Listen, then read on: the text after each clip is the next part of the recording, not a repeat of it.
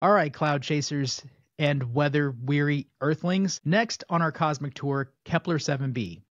It's as hot as Jupiter, it's extraordinary, and the first exoplanet to have its clouds mapped.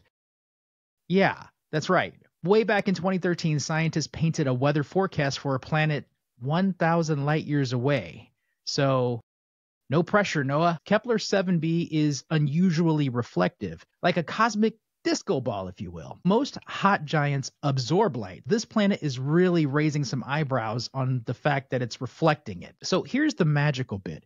Kepler tracked brightness changes across three years. By analyzing visible and infrared phase curves, scientists deduced the bright side wasn't heat, it was clouds. So they saw bright reflections peaking not at noon, but slightly in the evening hemisphere. It's a signature of a patchy cloud drifting westward.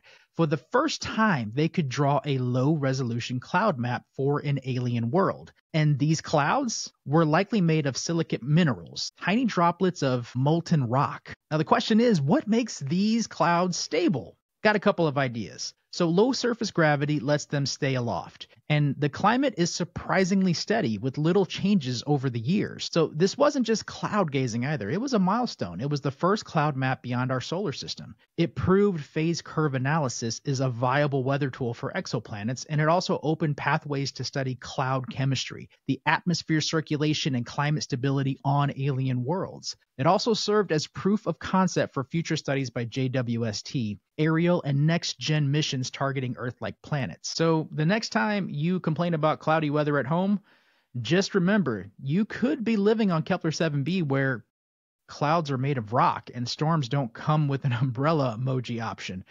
So there's that.